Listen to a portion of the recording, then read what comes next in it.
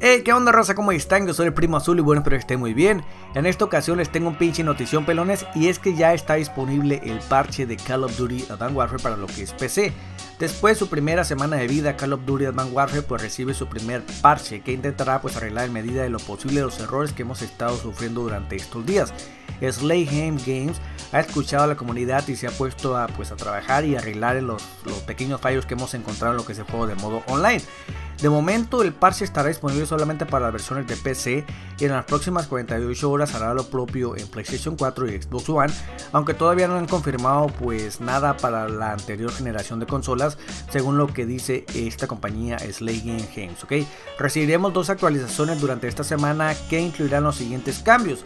Ajuste en las notificaciones de chat en game, arreglados los problemas de reinicio de prestigio, incluidos los emblemas y desafíos, arreglados los desafíos para desbloquear camuflajes, optimizar las conexiones para lo que son los servidores del juego, arreglados los errores por los que la barra de ping no se actualizaba correctamente, las estadísticas ahora se acumulan al cambiar de prestigio, añadir las reglas de Sport a las partidas privadas.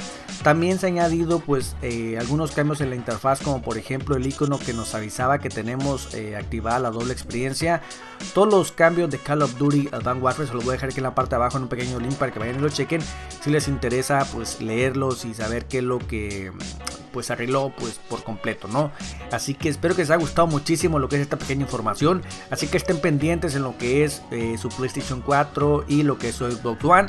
Eh, en estos días pues se actualizará lo que es su Advanced Warfare y en lo que es la consola de PlayStation 3 y lo que es eh, Xbox 360 pues todavía no hay fecha, no se sabe si se actualizará también en lo que es eh, dentro de estas 48 horas o si se aventará lo que es un parche un poco más adelante, ¿no?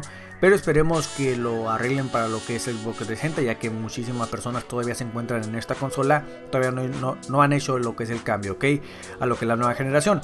Pero bueno, ya saben, denle un pinche like, suscríbanse a lo que son redes sociales y al canal para más videos. Yo soy el pinche pelón, nos vemos en la próxima. Bye.